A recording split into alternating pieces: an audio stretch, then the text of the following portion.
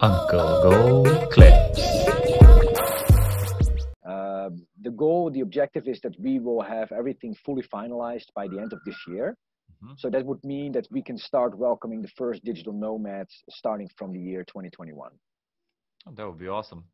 Yes. Uh, I, I, love that you managed to uh, do that and, and just starting it with an open letter and writing it like that it, it sounds uh, really really cool like um, i would really love that uh, it goes smooth for you and um, i wish you best of luck with with that project i'm sure that a lot of people will use that opportunity i think that people will actually were actually in the past looking for something like that because they know croatia as a tourist destination but probably didn't have that option um, to begin with but hey, uh, let, let's see uh, how 2021 plays out. Uh, things might change, right?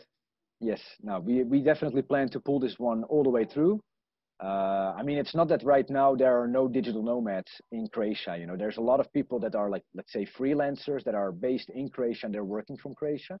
The only problem right now is that this is all very much in the gray zone. You know, what they're doing is basically not allowed. You're allowed to come to Croatia for three months as a tourist, but you would not be allowed to work from here. And that those freelancers are doing it anyway uh, it's first of all it's it's impossible to control for for for local authorities of course whether people are here to work or just to to to enjoy Croatia as a, as a, as a tourism destination. Uh, but it would be really very important that we start regulating these kind of things because this is where the world is going to. And if the world is anyway going into this direction then I would always choose to be among the first countries to do something like this. Yeah, yeah. because that's when you will be able to enjoy all the free publicity that you're going to get, just like Estonia got it, just like Barbados had it. Uh, this became world news for those countries, and a lot of people are reading about those countries, and, and that's great publicity for those countries. And, mm-hmm. and, and I wish that for Croatia as well. Hey, thanks for watching this video.